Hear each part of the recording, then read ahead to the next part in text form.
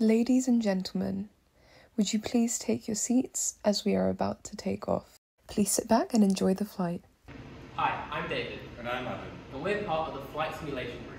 We applied for the Alumni and Friend Grant last year to help fund the continued development of our Boeing 737 simulator.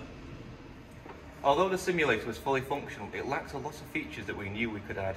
With it being student-led, we lacked the funds to accomplish this, but through the alumni grant, we were able to make this a possibility and provide a real experience to our students.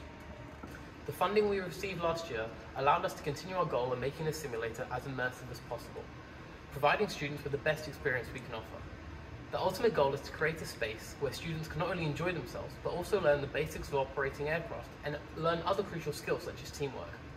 All of the funding went towards improving aspects of the simulator, with a large portion going into upgrading the aircraft centre console, which means students can take full advantage of the features which were unavailable before the funding, such as being able to complete an auto landing using navigation unit, or keep an eyes on real weather outside with the weather radar. Now that our funding has come to an end through the Alumni and Friend Grants, we will continue to seek other sources of funding to make our simulator as realistic as possible by further enhancing its capabilities. For example, one of our other current projects is networking all our other sims together so that aviators can fly together in the same session. The funding has also allowed for the society to continue on this year, where Adam has taken over as the president of the Flight Simulation Group. You have control. Thank you. I have control. With inheriting the work of so many students over so many years, it's a real honour to carry their work forward.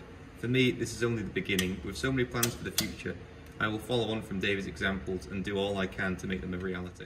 As part of making our simulator more realistic, a lot of funding has also gone toward blacking out the simulator to close off the cockpit as you would expect in a real aircraft. We've purchased all the materials to do this, however, due to queues in the workshop, this is still an ongoing task. It's also allowed us to install the jump seat.